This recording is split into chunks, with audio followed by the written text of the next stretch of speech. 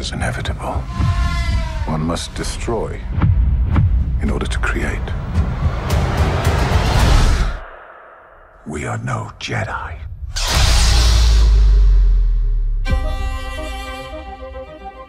I started hearing whispers of Thrawn's return as heir to the Empire. What happens when we find Thrawn?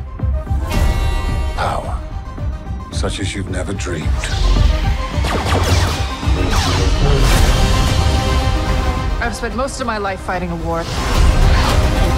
That's why I'm trying to convince you to help me prevent another one. You and I both know who could help you with this.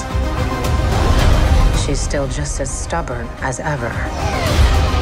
I bet your master found you difficult at times. Anakin never got to finish my training.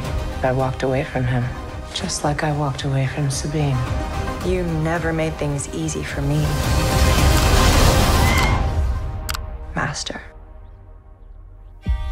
As a Jedi, sometimes you have to make the decision no one else can.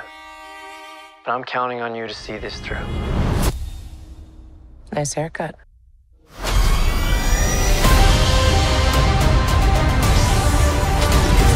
Sometimes we have to do what's right, regardless of our personal feelings.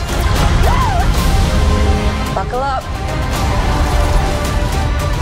If we don't stop Thrawn, everything will be in vain. You have no power. Anakin spoke highly of you. I'm not here to discuss my past. We have a lot of work to do. Once a rebel, always a rebel.